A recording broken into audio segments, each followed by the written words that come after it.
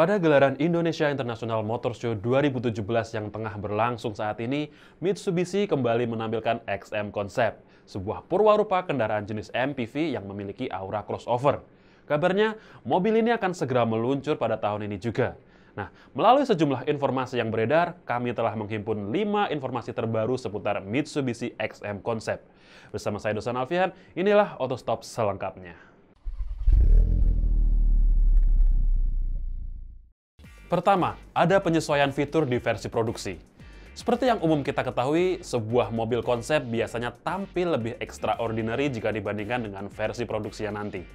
Hal ini juga nampaknya akan terjadi pada Mitsubishi XM Concept, di mana versi produksinya diperkirakan tidak akan sefuturistik konsepnya. Sejumlah fitur yang ada pada XM Concept juga dipastikan tidak akan hadir pada versi produksinya, mulai dari hilangnya sunroof, desain interior yang disesuaikan kebutuhan, hadirnya door handle, hingga penggunaan spion yang lebih sesuai, bukan model spion futuristik seperti yang digunakan pada versi konsepnya.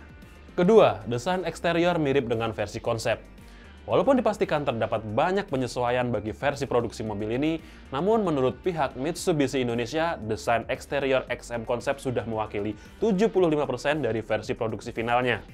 Menurut brand ambasador Mitsubishi Indonesia, yaitu Rifat Sungkar, dirinya telah melihat langsung wujud versi produksi mobil ini dan optimis mobil ini bisa menjadi ancaman bagi mobil di segmen sejenis macam Toyota Avanza, Daihatsu Xenia, Suzuki R3, maupun Nissan Grand Livina.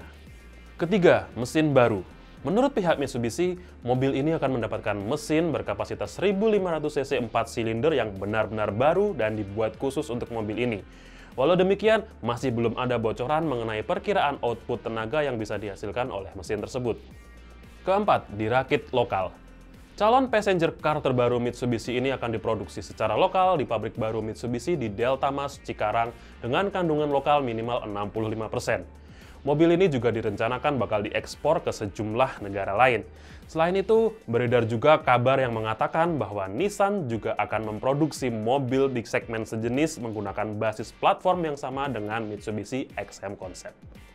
Kelima, bocoran harga. Menurut para wiraniaga Mitsubishi di ajang IIMS 2017, konsumen sudah mulai bisa memesan mobil ini. Harga yang ditawarkan berkisar antara 175 juta hingga 275 jutaan rupiah. Jika Anda tertarik dan memutuskan untuk memesan di ajang IEMS 2017, maka perkiraan mobil ini bakal Anda terima pada bulan Oktober 2017. Sedangkan jika Anda memesan setelah gelaran IEMS 2017 berlangsung, maka kemungkinan Anda baru bisa mendapatkannya paling cepat akhir tahun 2017. Itulah 5 informasi terkini dari Mitsubishi XM Concept. Untuk mengetahui informasi seputar dunia otomotif, kunjungi www.autotainment.com, follow juga semua sosial media kami di @autotainment, please like and subscribe channel YouTube kami, dan jangan ragu untuk share video ini. Saya Doson Avian, see you next time.